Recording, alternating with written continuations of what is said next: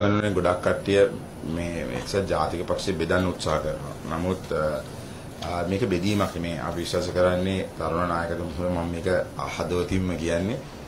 මට තාම මතකයි මම 93 මට අවුරුදු 15ක් විතර වෙන්න ඕනේ. එතකොට මම ඕලෙවල් ලියලා නැති කෙන කාලේ තමයි රනිල් වික්‍රමසිංහ මැතිතුමා මම උදාහරණ කියන්නේ නායකත්වයට පත් වුණේ. එතුමා හිතපු මොහොතක නෙමෙයි පක්ෂ 나යකයා වුණේ. එතුමත් ඒක කියලා තියෙනවා බොහොම අමාරුවෙන් ගැට ගහගෙන මේ පක්ෂය දෙනවා. දැන් මගේ දුව එන අවුරුද්දේ ඕලෙවල් කරා. ඒතර යුගයන් කීයද?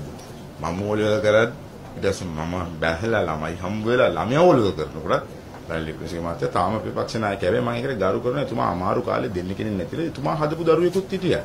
එතුමා ඇත්ත වශයෙන්ම දේශපාලනයෙන් හදපු දරුවෙක් තමයි සජිත් ප්‍රේමදාස මහත්තයා. එතුමාට දෙන එක මෙතනදී ගැටලුවක් වෙන්නේ නැහැ. මොකද සමහර වෙලාවට අපි දරුවෝ හැටියට අපි දෙමව්පියෝ බලාගන්න. ඒ නිසා මෙතනදී විය යුත්තේ එක්සත් ජාතික පක්ෂය හැටියට දිනන්න පුළුවන් මිනිසුන්ගේ විස. දැන් මම මම සජිත් ප්‍රේමදාස මහත්මයා උදාහරණ මතක ඇති ප්‍රශ්නයක් තිබුණා කාලයකදී අර ඡන්දයක් තිබුණා කරු ජයසූරිය සජිත් ප්‍රේමදාස මහත්මයාත් දයශ්‍රී ජයසේකරත් එක පැත්තකින් ඉල්ලුවා. රනිල් වික්‍රමසිංහ මහත්තයාත් රවි කරුණානායකත් දයාගමිකත් එක පැත්තකින් මම එදත් මම ලොකුවට සද්ද දැම්මේ නැති වුණාට මං එදා දයාසිරි ජයසේකරගේ පෝලිං බූත් නියෝජිතයට ඡන්දෙට ගියේ මං.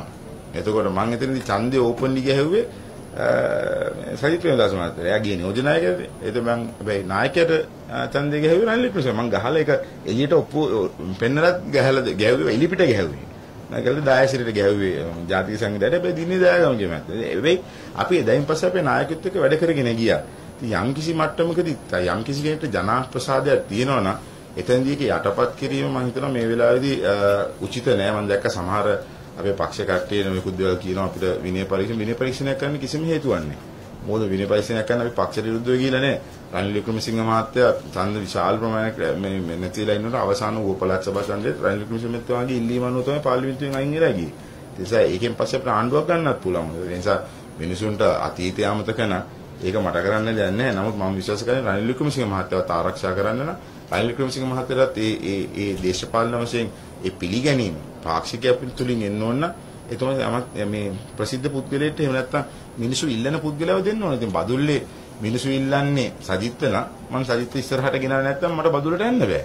ඉතින් ඒක තමයි යථාර්ථය. ඒක නොපිළිගන්නව මිනිසු ඉන්නවා නම් වහල් වාදයට යන්න හදනවා නම් මම හිතනවා දේශපාලනය විනාශ වෙයි. ඉතින් අපිට අඩුම ගන්න අපේ පක්ෂය තුළ ප්‍රජාතන්ත්‍රවාදයක් තියෙනවා. අපේ පක්ෂය තුළ අපිට මේවා කතා කිරීමේ හැකියාවක් තියෙනවා. වෙන පක්ෂවල නම් එක්ක අයියා එක්ක මල්ලි එක්ක එනිසාත්තම් පුතා එනකන් ඒ පවුලේ විතරයි.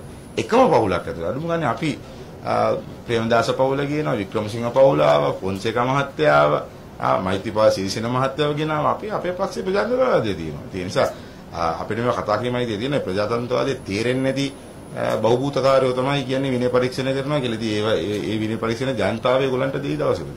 අපිට එක්සකාරී පක්ෂයේ බෙදීමක් තියෙන පැහැදිලිව තමයි. ටිකිරි කියන තාව ශ්‍රාමයටලා කරුණත් එක්ක ගේන්න ඕන කියලා මේ වික්‍රමසිංහ අගමැතිතුමාට ටිකිරි කියන්නේ රනිල් වික්‍රමසිංහ නෙමෙයි. ඉතින් මෙහෙමයි ව්‍යංගෙන් කතා කරන්න පුළුවන් දේවල් තියෙනවා. ඒ ඉතින් ටිකිරි මාත්‍රිකාවනේ. ටිකිරි වගේ මාත්‍රිකා තව තියෙනවා. ඉතින් ඒක ඕන විදිහට ගලප ගන්න පුළුවන්. අරත් එක්සකාරී පක්ෂයේ අතරම දැන් බෙදීමක් තියෙනවා. ඒ කියන්නේ තරුණ පිරිස සහ නෑ මම බෙදීමක් නෙමෙයි. මෙතන තියෙන්නේ මං කිව්වේ අර සමහර සමහර විශේෂයෙන්ම මේක වෙන්නේ මාධ්‍ය තුලින් මේ මේ බෙදීම කරන්නේ. පක්ෂය තුළද ප්‍රශ්නයක් තියෙනවා කියලා පෙන්වන්න හැබැයි අපි අපි නම් විශ්වාස කරන්නේ මෙතන ප්‍රශ්නයක් පේන්නම නෑ එකම දේ ආගමැතිතුමා මේ කල්මැරීම හොඳ නෑ කියන එකයි අපි කියන්නේ. මොකද ඡන්දෙට ලෑස්ති වෙන්න ඕනේ ඡන්දයක් කරන්න මේ ලේසි ඡන්දයක් නෙමෙයි. ජනාධිපතිවරනේ ඒ වගේම අපේ අතින් උත් වෙච්ච ගොඩක් අඩුපාඩු තියෙනවා අපි හදාගෙන හරි හරි කැම්පේන් එකක් හරි පොලිසි එකක් ඉස්සරහට රට කරගෙන යන පිළිවෙතක්. එහෙම නැතුව මේ මේ අර පෞල් පාලනයට විරුද්ධව මිනිස්සු අපිට දීපු ඡන්දය අපි හරියට ගරු කරාද? ඒකට අපි මොකද්ද අපි අතින් වෙච්ච අඩුපාඩු? ඒ සිළු දේ සකස ගන්න ඕන අවස්ථාවක් තියෙනවා මේවට අපි ඉඳගෙන කල් ගන්න මේ යන තප්පරය මොහොතම අපිට හරි වටිනවා ඉතින් අපි අපි වරක් කරන එක තරම් හොඳ නෑ.